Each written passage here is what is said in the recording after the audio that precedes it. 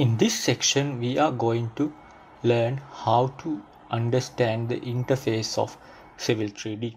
So when you open the drawing and open a file, you will get this kind of interface in the Civil 3D version, whatever the Civil 3D version you are using. So I have already opened this sample drawing and also I have created a Civil 3D point on this drawing to uh, visualize the things I am explaining here. So if you go to the Civil 3D interface, on your left top, you will see a big C here. In some versions, you will see a, a big A here.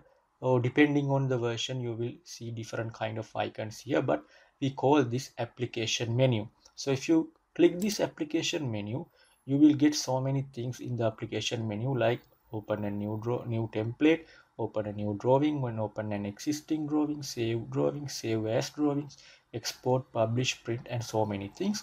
And also if you have anything to search re related to a command or something you can use this area to uh, search that thing. So for example if i learn about the move command you will get many things related to that one from here.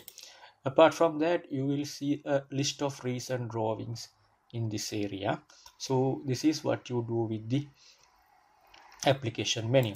After that you have this area which relates to quick access toolbar where we have some icons uh, which is used to quickly access certain things like undo redo plot and publish uh, in mobile options and save open drawing open new drawing likewise. So that is about quick access toolbar again after that one you have this workspace selection area. Currently my workspace is civil 3d so when you have in you are in civil 3d workspace you will see most of these icons home tab insert tab and this area. So if you change this workspace to like drafting and annotation it will be completely changed to a different interface. So if you are familiar with AutoCAD this is the AutoCAD drafting environment so that is how to use various workspaces in civil 3d uh, apart from these two you have 3d modeling and planning analysis. So since we are doing work with civil 3d workspace i am moving on to the civil 3d workspace. So that is civil 3d workspace. Then we will understand the ribbon. This whole area we call it the ribbon. So in the ribbon we have so many data which we will be using uh, while doing various tasks in civil 3d in civil 3d we have in the ribbon we have so many tabs home tab insert tab annotate tab modify tab likewise. So on each of these tabs we have something called panels. So we call this panel palette panel. Then we call this part create ground data panel. This is create design panel. This is profile and section views panel.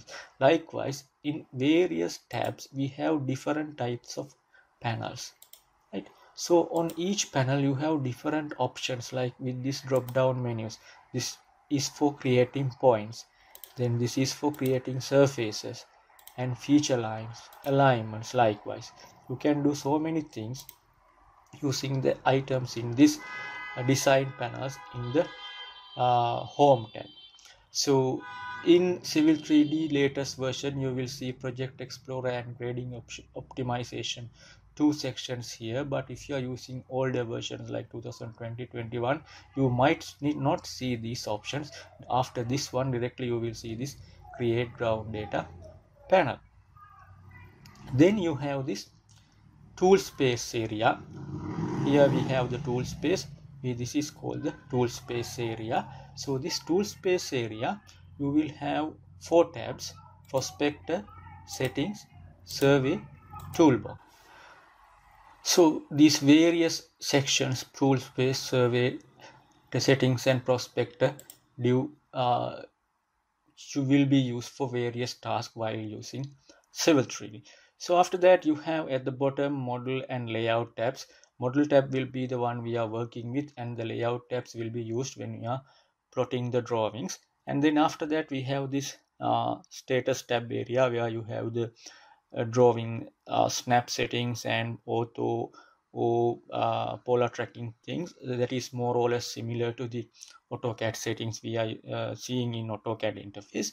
Then you have this drawing scale area where we can use the we can change the drawing scale while we are working and in this right side you have the transparent commands. Where you will be using them while using with other commands in Civil 3D then you have this our drawing area where we work with and where we see everything what we are doing while we are using the Civil 3D commands and everything.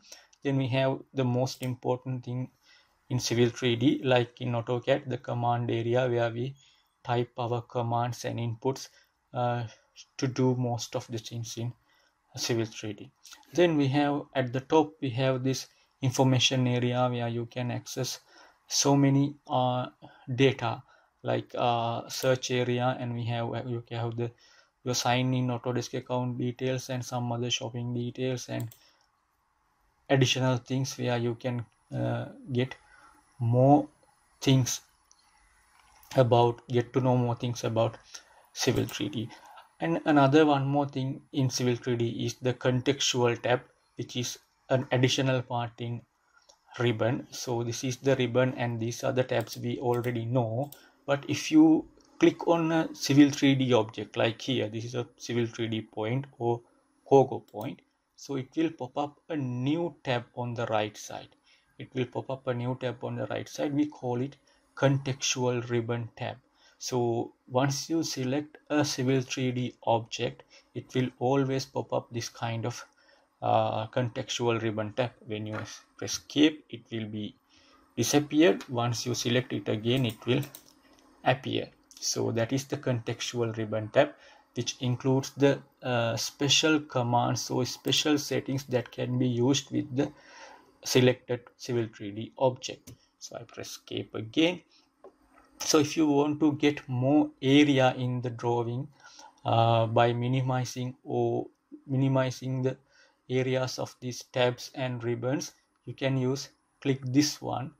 So it will automatically shrink these areas. So while if you click in few more times you will go to various states of that clicks. So once you click once again it will come to the initial setting. So you can use whatever the settings suited in your case.